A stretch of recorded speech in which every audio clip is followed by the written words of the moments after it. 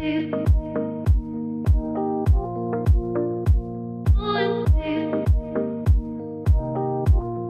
on over a thousand square metres and only a 700 metre stroll to Normanhurst train station is this architecturally designed five bedroom, three bathroom, two car incredible home that must be seen. I'm Dion Verzeletti and I'd like to welcome you to 26B Osborn Road, Normanhurst.